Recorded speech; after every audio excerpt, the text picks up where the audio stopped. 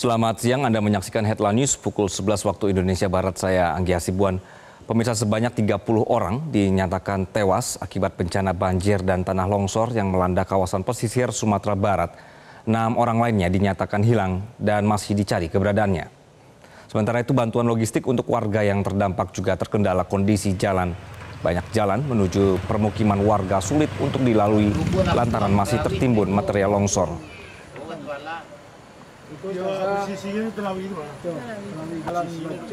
Kondisi jalan menuju Kampung Langgai, Kecamatan Sutra, Kabupaten Pesisir Selatan ini, sebagian jalannya masih tertutup material longsor, sehingga menyulitkan tim SAR gabungan untuk masuk ke kampung dan memberikan bantuan. Sejumlah relawan bahkan terpaksa berjalan kaki berjam-jam lamanya untuk mengantarkan bantuan kepada warga di lokasi yang sulit dijangkau kendaraan.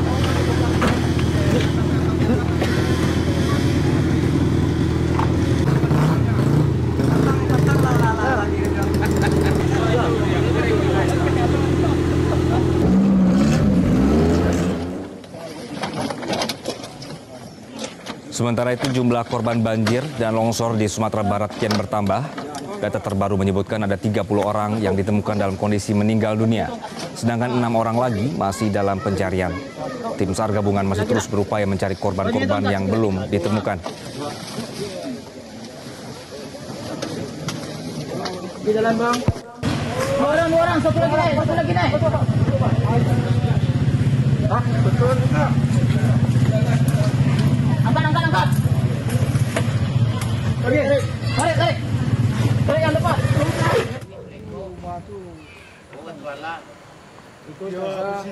Untuk mengetahui informasi terkini pencarian korban banjir dan longsor di pesisir Sumatera Barat, kami bergabung bersama kontributor Metro TV Sumatera Barat, Bonar Harahap.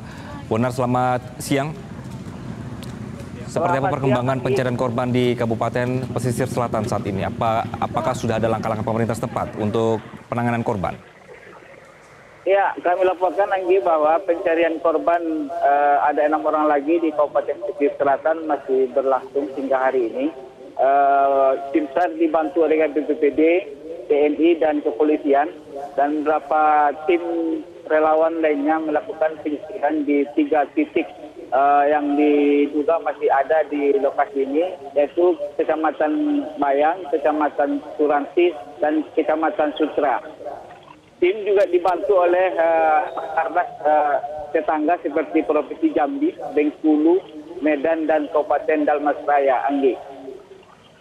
Baik, uh, Bonar, enam orang yang dinyatakan hilang ini uh, pada saat kejadian ini memang sedang beraktivitas atau seperti apa, Bonar? Uh, informasi yang kita terima dari Kepala ini Sumatera Barat bahwa mereka sedang berada di rumah uh, dan mereka tergulung banjir dan longsor ketika mereka sedang ber, berlindung di dalam rumah saat bencana terjadi, Anggi. Baik. Bonar untuk saat ini apakah alat berat itu sudah bisa masuk ke lokasi titik-titik longsor?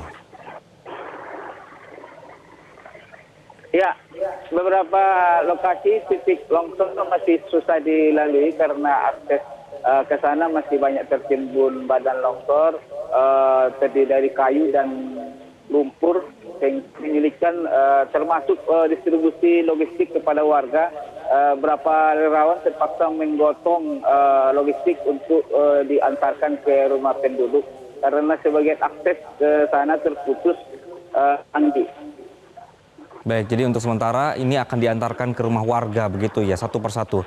Bonar, untuk kondisi saat ini, apakah ada imbauan dari BPBD atau juga dari BMKG setempat bahwa sebenarnya ini bencananya sudah melandai atau masih ada kemungkinan untuk adanya susulan?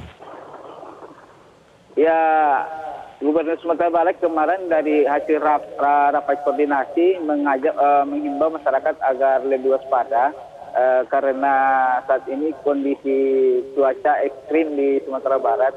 Uh, dalam rapat kemarin juga ditetapkan uh, dari 12 uh, kabupaten kota yang terdampak banjir Kamis kemarin, lima kabupaten dan kota ditetapkan sebagai berstatus tanggap darurat 14 hari ke depan nanti.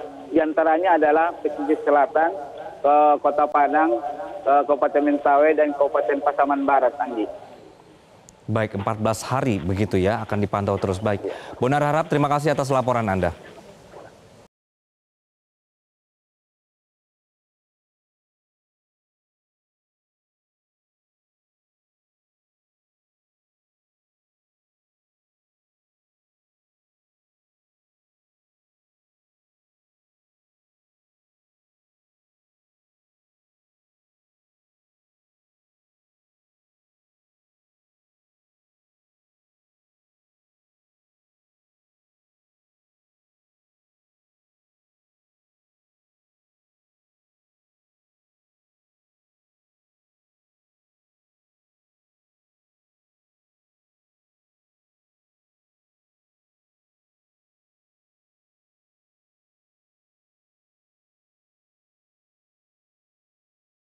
Download Metro TV Extend sekarang.